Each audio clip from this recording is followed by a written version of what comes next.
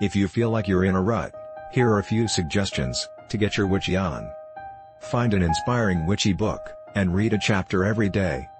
Sometimes inspiration can be hard to find, but lucky for us there are tons of wonderful witchy books out there, to give you a little kickstart back, into the craft.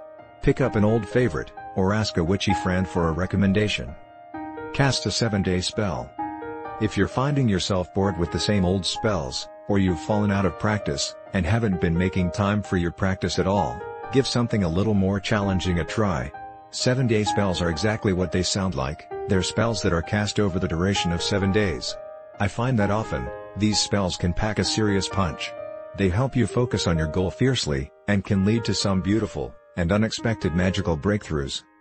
Sometimes, the best way to reignite your passion for magic, is to make it simple and easy to access.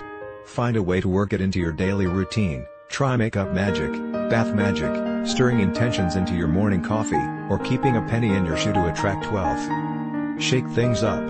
If you usually work alone, Find someone else to do magic with. If you like to work with a lot of tools, try mastering a stripped down, tool-free spell.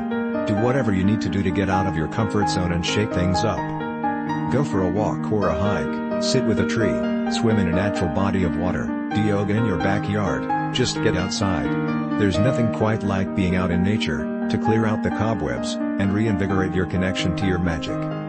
If you're feeling uninspired, other witches in your social circle, can be an amazing way, to get the spark back in your magic. Go out to coffee to discuss your dreams, astral journeys, and spirit work. Expand your craft.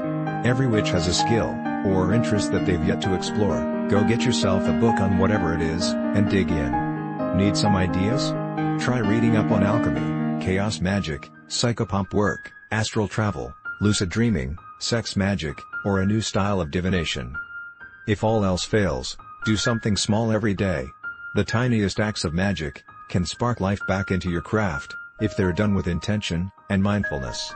If you're too stressed, or worn out to commit to something more involved, then doing something tiny on a daily basis, can help you foster your connection, to your craft and rebuild the foundation, that you need to find inspiration in your craft and really feel your magic. Until next time, blessed be.